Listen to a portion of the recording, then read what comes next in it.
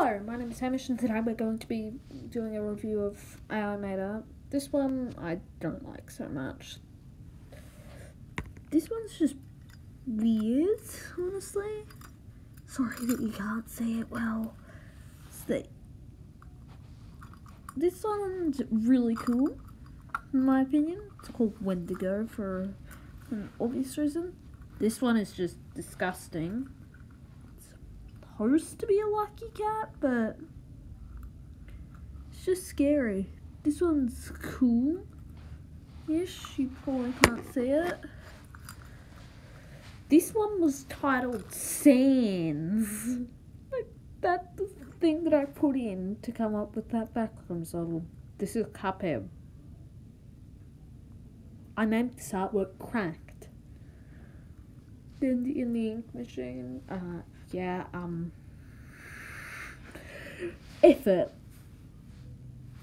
This one was Paris,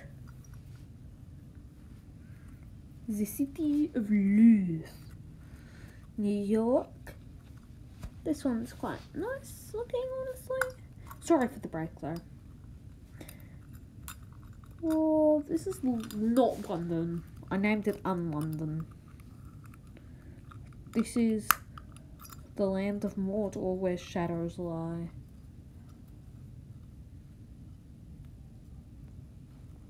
This is an elven village.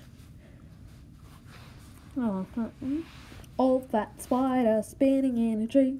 Old fat spider can't see me. Attercop, add a cop, down you drop. This one is steampunk, one of my favourite aesthetics personally. And it's a clock tower. This is a throne room. Yeah, it's quite cool. This one was Tea Party. Yeah, I like it. This is Smaug the Magnificent. Far over the misty mountains cold. That is my response to that in a hole in a ground. There lived a hobbit, not a yeah. It's cool. It's a very interesting take on a hobbit hole. It's just a psychedelic suburban neighbor, well, synthwave suburban neighborhood. This is a nature scene in synthwave, which I titled Toxic Mutation.